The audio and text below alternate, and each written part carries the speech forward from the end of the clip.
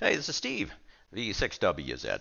The nine circle receive array developed by John W1FE and sold briefly as a kit by DX Engineering years ago is still a popular array today. I've published a few videos on how to homebrew your own array, but I've often had questions about what kind of performance can be expected.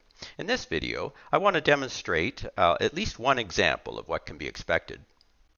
The array is really uh, just a three-element end-fire array with 60-foot, not as shown here, but 60-foot uh, inter-element spacing and yields an excellent uh, directive pattern uh, that is uh, shown here and closely resembles that of a uh, single-wire beverage.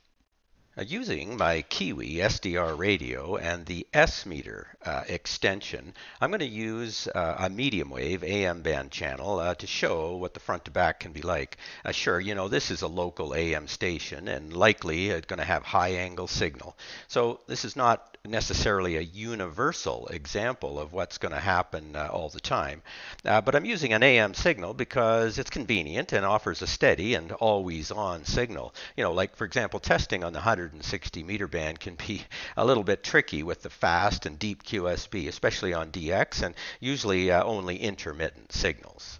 Uh, this is the Kiwi uh, GUI, um, and on the bottom uh, is the waterfall, uh, obviously shown here, and on the top is what we call the S-meter extension. Uh, it's an extension available on uh, the Kiwi radios.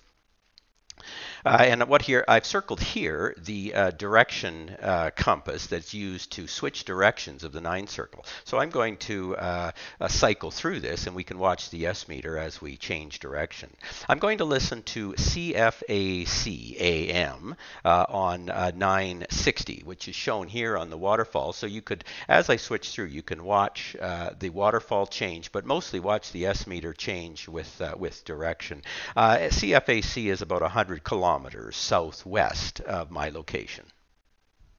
Uh, by the way, I have no radio audio uh, co-streamed with my voice here. I'm sorry, but I'm having trouble uh, setting that up.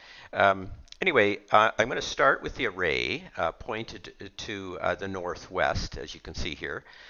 this is away from CFAC uh, or in other words, on the back of the array. Um, notice uh, that uh, right now uh, the S meter's at minus, uh, thereabouts uh, 75 dBm or so. Um, so um, you'll see here, I'm going to switch then to the um, Uh, southeast uh, directly at CFAC. Uh, and you're going to see that um, you know we've shot up to 40 uh, minus 40 dB. Well, that's about a 35 dB uh, front to back, which is, um, you know, pretty pretty impressive. You can also notice the uh, waterfall uh, when I changed it, uh, not only on the CFAC channel, but a few others. Uh, dominantly, most AM signals are coming from the southeast of my location.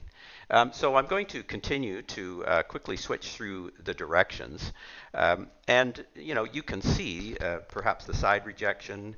Um, and perhaps if you want to study this uh, a bit closer, uh, maybe you could just replay the video a few times and look both at the S meter uh, uh, readings versus the compass direction.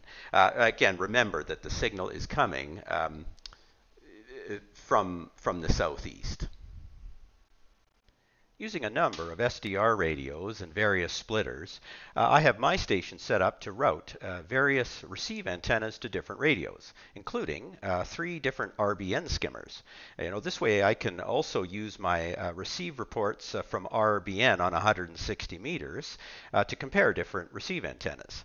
Now that's why you might see uh, RBN uh, spots from VE6WZ, VE6WZ underscore 1, and VE6WZ uh, underscore 2.